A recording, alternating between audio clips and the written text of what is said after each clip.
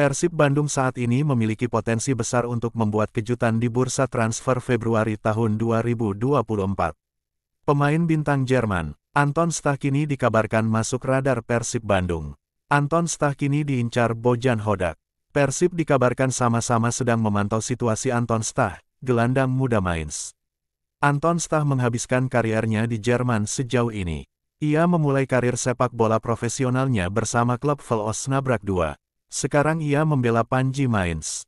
Ia sudah bermain di klub tersebut sejak tahun 2022 kemarin. Anton Stach kemudian menjelma menjadi pemain kunci di Mainz. Sejauh ini ia sudah bermain sebanyak 54 kali di semua ajang kompetisi. Total Stach telah mengemas 27 plus 35 asis. Pemain 24 tahun itu sendiri termasuk pemain serba bisa. Posisi utamanya memang gelandang tengah. Namun ia bisa dioperasikan sebagai gelandang bertahan atau gelandang serang. Anton Stach sendiri sudah dipanggil masuk timnas Jerman. Namun kabarnya penampilan Stach sudah menarik perhatian klub-klub besar Indonesia. Salah satunya adalah Persib Bandung. Kabar ini diklaim oleh Persib.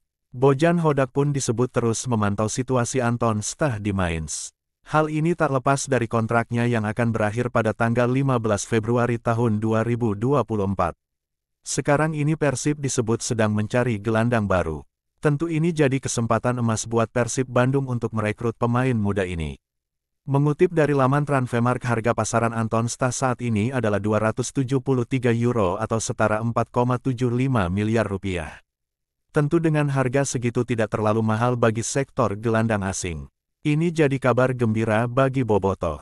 Tentu ini sangat menarik untuk dinantikan, akankah Anton Sta akan merapat ke Persib Bandung?